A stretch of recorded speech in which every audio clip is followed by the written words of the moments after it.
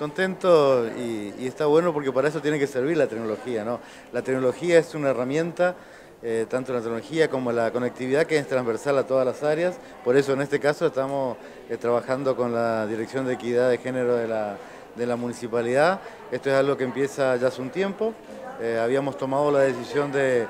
en Marandú de, ser zona, zona segura, entonces firmamos el convenio, fuimos el primer organismo este, público que firmó un convenio para, para establecer a Marandú como zona segura. Y a partir de ahí empezamos a ver cómo podíamos colaborar y cómo podíamos este, sumar para, mejorar las herramientas con las cuales se contaba desde la Dirección de Equidad.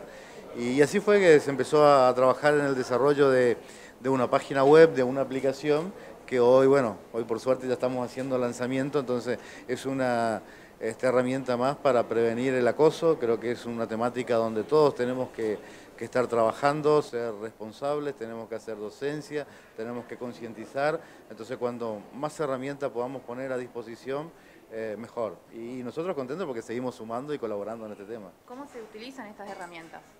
Bueno, en este caso este, se puede ingresar a la, página web o la, aplicación donde hay, eh, se puede realizar la denuncia, se puede solicitar ser eh, lugar seguro, este, para, así poder firmar el convenio. Hay un, mapa también donde se está viendo los lugares de, eh, que son zonas amigas, zonas seguras. Entonces, de esa manera, si alguien recibe algún acoso callejero, sabe dónde puede eh, resguardarse y dónde poder eh, pedir ayuda. Eh, esto es lo inicial que tiene, nos va a permitir también ir viendo incidentes, porque al poder levantar la denuncia, viendo incidentes dónde se van produciendo, este, y eso son datos, son datos importantes para para tomar decisiones en las políticas públicas que se llevan adelante para prevenir esta, esta situación. ¿Desde cualquier celular se puede descargar la aplicación? Sí, se, está, se empezó ahora con Android, eh, se está trabajando para que también esté disponible en iOS,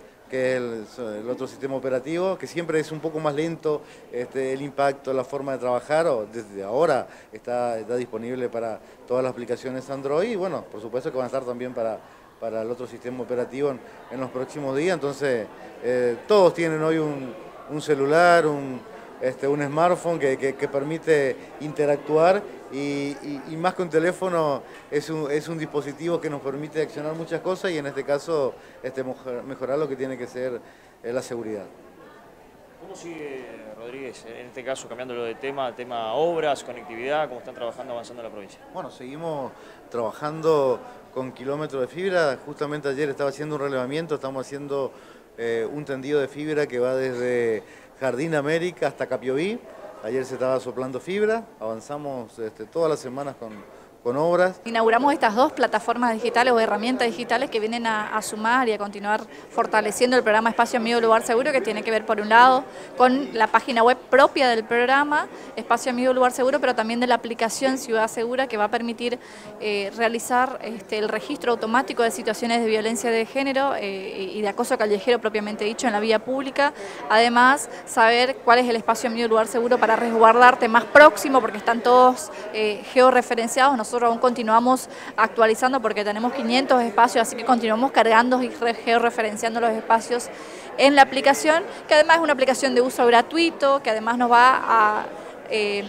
llegar el registro de la situación automáticamente a la dirección para que podamos contactar a esa persona para contener y acompañar. Así que entendemos que es una herramienta fundamental no solo para el acompañamiento de quienes sufren una situación de violencia de género en la vía pública, pero también para una mayor celeridad en atención de esa situación y continuar visibilizando, poniendo una agenda una situación problemática que continúa siendo culturalmente aún muy naturalizada y que hay que desnaturalizar, que hay que comenzar a visibilizarla como una expresión de violencia de género.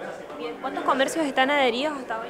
Tenemos 550 espacios adheridos, como te contaba, nosotros continuamos realizando la carga en la aplicación, porque la aplicación, bueno, recién está saliendo del horno, digamos. Eh, son más de 550 espacios entre comercios, espacios educativos y organizaciones del Estado. Así que apostamos a que con los comercios y los espacios en la ciudad de Posadas continúen sumándose, porque eso es fundamental no solo para el resguardo, sino porque, por todo el proceso de capacitación y sensibilización que se genera con ese espacio para este, abordar no solo en relación a la vía pública, pero hacia adentro de cada uno de esos espacios. ¿Y desde que se lanzó la ley hasta ahora estuvieron recibiendo denuncias y cómo las atendían? Sí, bueno, la ley es un paso enorme en ese sentido, ¿no? Porque previo a la incorporación del concepto a la ley, nos costaba mucho que se tomen las denuncias, ¿no? Que se acompañen con seriedad cada una de esas situaciones de denuncia, porque muchas veces se tiende a minimizar la situación del acoso callejero, porque como te decía, es algo que siempre ocurrió en la vía pública. A partir de la incorporación del concepto a la ley, bueno, tenemos un poco más de facilidad en que se tome la denuncia y que se trate con, con más seriedad cada una de esas situaciones. La verdad que este es un paso más y un paso importante, sobre todo porque nos permite utilizar una herramienta como la tecnología y la conectividad para seguir profundizando este trabajo que tiene que ver con la sensibilización, la concientización y la construcción de una sociedad donde el respeto sea, sea la palabra mayor y más importante. Así que agradecido a Marandú por permitirnos llevar adelante esta actividad, felicitar a la Dirección de Equidad de Género porque ahora no solo tenemos los 550 comercios o empresas o consultorios o distintas instituciones que ya están adheridos y que permiten eh, ser el espacio seguro, sino que es una nueva herramienta que nos permite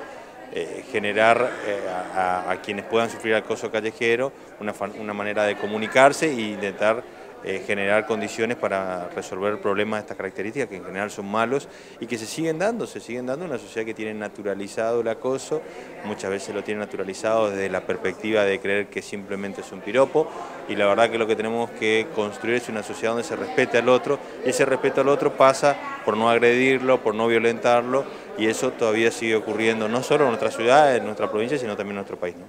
Bien, ¿y cómo piensan asistir a las víctimas de acoso? Bueno, nosotros tenemos un equipo que trabaja frente a, la, hoy que funcionamos con cada uno de los comercios que nos informaba, el equipo se acercaba hacia el lugar donde estaba la víctima y se le asesoraba, se les generaba los mecanismos de contención y después se la acompañaba porque bueno, también hay que decirlo cuando nosotros pusimos en marcha comercio seguro contra el acoso callejero todavía no teníamos una ley, ahora tenemos una ley con lo cual tenemos herramientas que nos permiten nosotros accionar judicialmente para poder avanzar en la denuncia, así que también esos procesos hoy están y esos son procesos que lo vamos a utilizar porque insisto, porque tenemos que deconstruir todo un concepto que existe que muchas veces por ahí los varones no vemos o no entendemos que tiene que ver con generar temor en el otro.